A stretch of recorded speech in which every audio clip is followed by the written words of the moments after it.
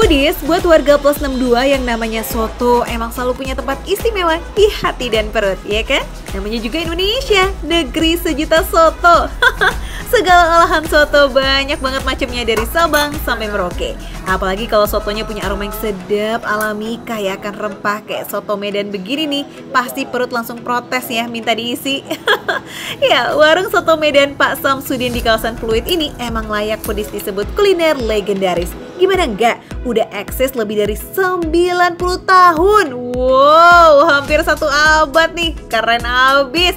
Awet bener ya foodies. Jadi nggak perlu lagi kan diragukan kelezatannya. Dan ini benar dari 1930 ya Pak? Oh iya benar, karena di saat 1930 itulah dari Awal- kakek ada awal berkembangnya soto ini. Ah, oke. Nah, langsung aja Pak kita sambil bikin.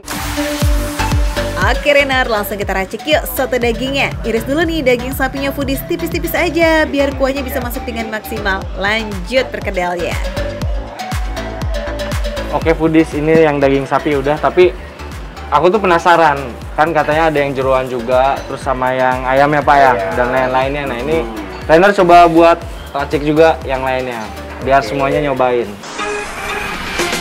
Soto jeroannya terdiri dari kikil, babat, dan usus. Harusnya ada paru juga nih foodies, tapi kalau siang udah sering ludes.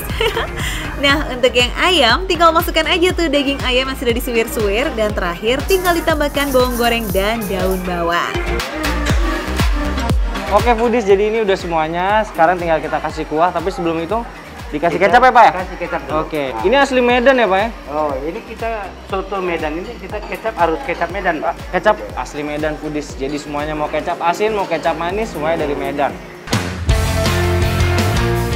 Wih, kecap manisnya aja pasti pakai yang asli dari Medan ya, biar manisnya nggak terlalu pekat dan ada sentuhan rasa gurihnya. Ini wangi banget foodies. Ini rempahnya, ini Terutama ada berapa kan- macam Pak? Rempah rempahnya kurang lebih mencapai 20, Pak. 20? 20 rempah. Wow. Ciri khas soto Medan ini selain pakai perkedel, kuahnya juga beda foodies. Sekilas mirip soto Betawi, tapi kuah soto Medan lebih kental dan kaya rempah. Ada jinten hingga bunga lawang di dalamnya. Pantas aja ya dalam sehari bisa menghabiskan 4 wadah kaleng besar ini nih, atau sekitar kurang lebih 300 porsi. Oke foodies, jadi sekarang kita tinggal cobain aja semuanya, oke? Nah foodies, racikan sambal untuk teman soto Medan ini juga nggak kalah istimewa loh. Ada sambal rawit hijau yang digerus kasar, dicampur bareng kecap manis dan bawang goreng. Hmm, mantap jiwa.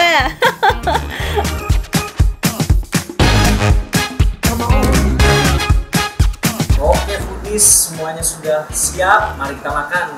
Kita cobain nih soto Medan asli. Ini yang daging, cobain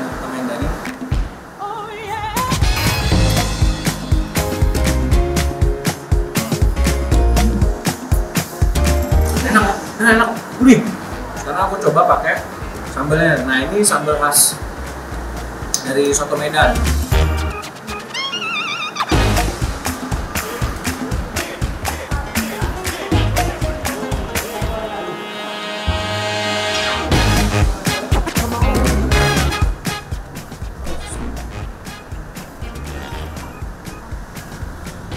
Hmm.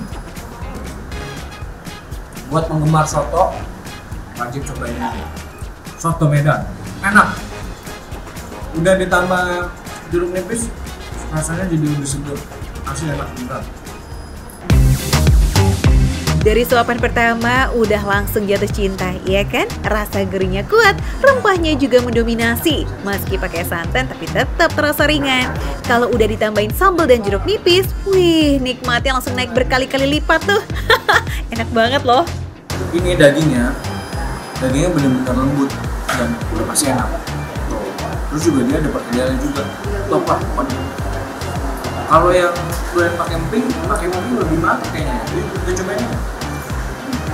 Tadi setelah yang daging, sekarang kita cobain yang jeruan langsung. Langsung aja kita campur ya. Keringat langsung ngucur deres ya, perpaduan jeroan rempah dan sambelnya ini emang gak ada yang ngalahin. Katanya sih, warung soto yang afdol itu emang nggak pakai pendingin ruangan, biar kehangatan kuahnya tetap terasa dan keringat bisa keluar jos maksimal. Mantul, Foodies! ada babatnya juga pedis nah ini yang ini ini ada babatnya dia punya gimana gitu ya terus juga untuk rasanya dari yang daging sama yang jelas beda walaupun bumbunya sama ya. Karena mungkin ya itu entah campuran lemak terus eh, khusus dan lain-lain gitu kan. Jadi bikin cita rasanya jelas beda. Itu enak serius enak.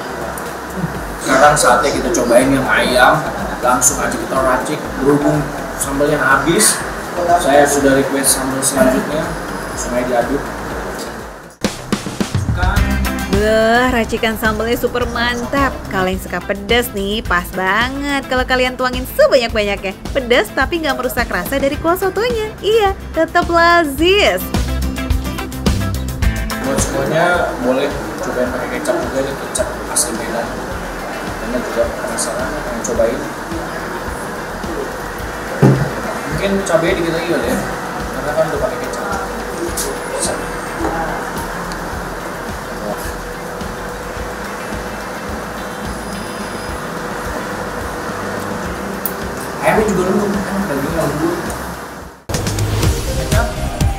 ayamnya ini juga enak loh, gak kalah enak sama yang daging dan jeroan.